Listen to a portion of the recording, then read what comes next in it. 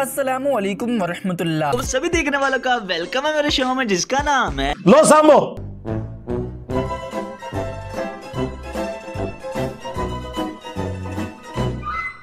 गरीब नवाज़ सिर्फ़ अल्लाह पाक के साथ होती है। तो हज़रत सईदना हसन सजरी आजा गरीब नवाज़ रहमत ताली को गरीब नवाज़ क्यों कहा जाता है। चलो भाई देखो अब मैं क्या करता हूँ। ये कौन सी आयत का या हदीस शरीफ का गरीब नवाज़ अल्लाह की साथ होती है? उस्ताद जी रुको जरा सबर करो। गरीबी नवाज़ तो है भी अरबी तो है भी नहीं। गरीब नवाज़ ना गरीब की मदद करने वाला। तो सभी तो चंदे मांगते हैं यार अपने अपने इदारों के लिए। ओ जी लोहरी हर साल तू बाबा बैठे है ते पाल रहे लोगों वो छड़ दे। आज चंदे बंद कर देना गवर्नमेंट कुत्ते फिरन के दरबार होते थोड़े ये जो समाजी इदारे होते हैं गरीबों को राशन देते हैं बेवाओं की मदद करते हैं बहुत कुछ कर रहे होते सारे इदारे। है ना? तो ये क्या है ये गरीब नवाजी तो है। अब हमसे मसला कोई नहीं है। रेड क्रॉस वालों से मसला नहीं है। जो दुनिया भर के गरीबों को नवाजने के लिए दावे कर रहे होते हैं तो खाली एक वलीउल्लाह से ही मसला है कि इनको गरीब नवाज़ क्यों कहते हो? और मज़े की बात बताऊँ दोनों की एनालॉजी बनती नहीं है। अगर कोई शख्स इन मानों में अगर कोई कहता है ना कि जब तक वो ज़िंदा थे तो अल्लाह की राह में लुटाया करते थे गरीबों में बांटा करते थे तो हमें कोई हर्ज नहीं है आपके। लेकिन ये कह रहे हैं कि जो अब भी उनके दरबार पे जाता है वो उसको नवाजते हैं। और अगर इसकी कोई मिसाल देता है ना जी, वो उनके दरबार पे गया हुआ कोई भूखा जो है वापस नहीं आता तो ये वही पाल रहे हैं।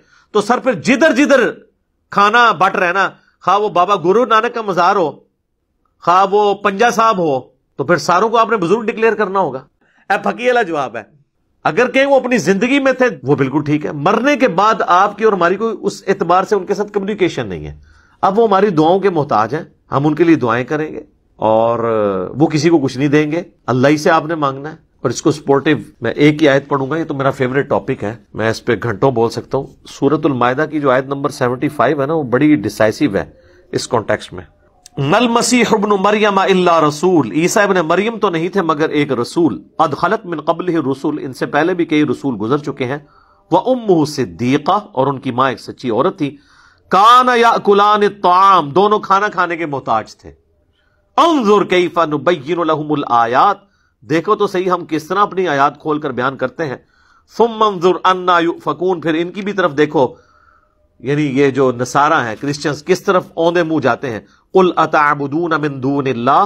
ए नबी से फरमाओ, क्या तुम अल्लाह को छोड़ के इनकी इबादत कर रहे हो? ईसा और उनकी माँ की? माला यमलिकु लकुम दर्रम वला नफा जो ना तुम्हारे नुकसान के मालिक है, ना किसी नफे के। वल्लाहु अलीम, और अल्लाह ही सुनने वाला इल्म वाला है। अल्लाह तला कह रहा है कि उल अजम पैगंबर ईसा और उनकी माँ, एक बेहतरीन पैगंबर और अफजल तरीन वलिया उनकी माँ, दोनों तुम्हारे नफे नुकसान के मालिक नहीं है। तो फिर ये बाकी लोग कहाँ से हो गए? और अल्लाह ने कहा, दोनों रोटी खाने के मोहताज थे, वो खुद मोहताज थे रोटी के। और दूसरे ने कहा, इनको कहा मिंदूनिल्ला अल्लाह के सिवा।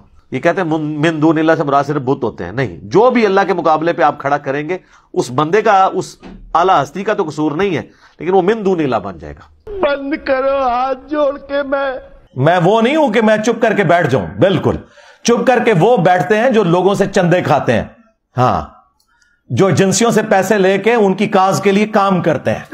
हाँ, जो अपनी जेब से लगाते हैं ना जो गरीब नवाज़ लोग होते हैं। तो अड़े गरीब नवाज़ से जाली ने गरीब नवाज़ देखना तो इतने आओ।